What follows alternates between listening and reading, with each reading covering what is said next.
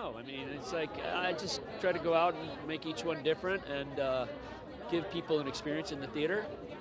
Uh, this was uh, shot during the height of the pandemic with, a great cast. What I like about this movie is it's a it's a very audiences have seen it with big audiences. It's very immersive because it's very tense. It's like if you were on a crime, what would it feel like if it all goes wrong and it's all happening very very fast? They just have to know that it's gonna it's it does have emotion in it, but it's it's an intense movie.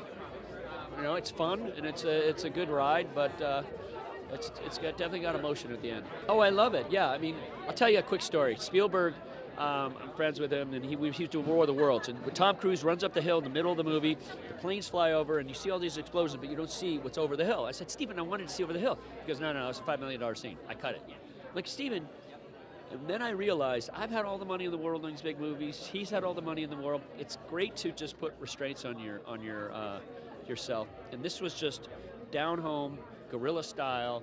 Um, you know, it's just uh, it was very immediate. It was a it was a it was a very claustrophobic in that ambulance uh, uh, environment, and that was the, the, interesting thing. And I was very lucky. I got 52 real LA PD cops, um, real fire firefighters. So it's got a very authentic authentic uh, feel to it. Because I put the movie in my head, I know what I'm going for, and I always try to, what is the the point of this scene? What do I want? What's the emotion I want to get?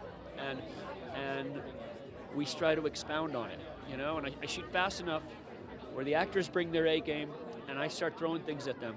Not physical things, but like, not physical things, but um, you know, ideas at them, and they give me stuff, and we start, you know, I give them room to play. It's all about the emotion. Of, you got to feel it from the character's point of view. Action is boring if it's not, if you're not, if character's not central to it. Well, I hear we have 250 LAPD sheriff, firefighters, uh, uh, paramedics here today. Swear to God, we do. My first thought is, oh my God, how many explosions are there going to be in this movie? and is he going to be able to control himself? Um, but it was amazing. I, I, was just so excited. I think that my process was I read the script first without knowing that it was Michael Bay. My my my um, agent sent it to me. She's like, "I'm not going to tell you who's going to direct it. Just read it." And I was like, that sounds like a trap. and she's like, read it. And I was like, okay. So I read it and I just fell in love with Cam immediately. I just felt like it felt like a real contemporary woman, a woman that I can relate to, a woman with dimension and, and capabilities, but also quite vulnerable and broken and going through a moment in life. And I just want to be embodying female characters like this more and more on screen. And it's rare to see characters like this on action films. So I was just really excited. And then they're like, it's going to be Michael Bay. And then I sat down and interviewed him. I was like, "Are you gonna do her justice?" And he was like, "Yes." And so he's like, he's always telling me, "You're like, you're you're so healthy." I'm like, I, I just really care, but I'm so grateful. And he's lovely. We get along so well. I just wish that they pay attention to what the paramedics and the first responders have been doing this entire two years. I'm so honored to be playing them and it was just most it was literally the most terrifying process of my life because i got it in the peak of the pandemic the script and i just was really nervous and, and really thought who am i to be bringing this character to life it should be someone that is capacitated for this. And um, and i just loved what a love letter it was to first responders but also for female paramedics. And and i felt like as a woman of color, being a Mexican woman, an immigrant, I, I just wanted to see more characters like this on screen, being a woman like me that doesn't necessarily have to make a point of where she comes from or where she is, and it just creates a norm. And so I just hope that when people watch this, think about the real life superheroes. These are the real life superheroes, the, the, the heroes without capes, and they have been sacrificing their entire lives in the last more than ever for for us. If you've seen the movie, if you've seen Ambulance, it, the energy of that, the frenetic energy of that, the chaotic brilliance is the exact same as being on set.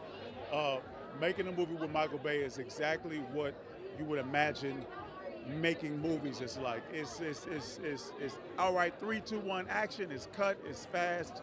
Um, it's, a, it's a huge playground. He's off the hook. Well, you know, we uh, play brothers in the film, and for us, that's what we wanted to come in and protect, which means that we had to be honest. We couldn't take ourselves seriously. We had to depend upon one another, you know, to get through the day, to get through the scenes. And we just, at the end of the day, just really had a ball. You know, we just came in. it was sort of like a say yes, yes, and, and, and that's what we did. We were very playful, and uh, we had a good time.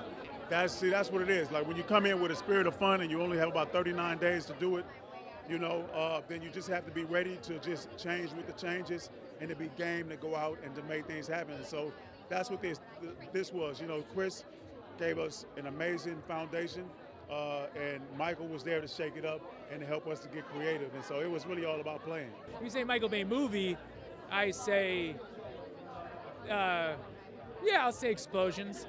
Uh, uh, uh, uh, bombastic is a big is a word that comes with both Michael Bay and Michael Bay movies. So maybe that, yeah, because it implies that sort of explosive thing. The thing is that Michael is Michael is a Michael is a kind of film the kind of filmmaker that people wouldn't expect. In that, you know, some of the best filmmakers I've ever worked with are always following the energy and the honesty of something that's happening. And so he allows for things to roll and find you're finding things with him and he's laughing and we're joking and in the midst of that he finds energy and something that we love watching. And I think that's why you see incredible performance like fun ridiculous things that come out of so many people that he works with, and that's why we love his movies. You know, I just want, I, I'm so excited for people to go to the theater. I think the idea to me of people saying we're gonna have a huge experience and we're gonna go there and we're gonna have fun and we're gonna have enjoy this crazy ride, to me that's what's exciting about this movie. And I think I'd love for people to take away also that the movie is a love letter to EMTs, you know, and first responders. It really is. Um, the incredible work they do, and yes, it gets big and, and bigger than life sometimes, but at the heart of it is the incredible work they do. The idea of the singing came from a like a little bit of a seed of mine of wanting to like, you know, I thought I thought how much can you do in an ambulance over a long period of time? And I thought there's a radio, right? Yeah. And I just mentioned that to him and then the, the choice of song was his. He's a yacht rock fan, so, you know.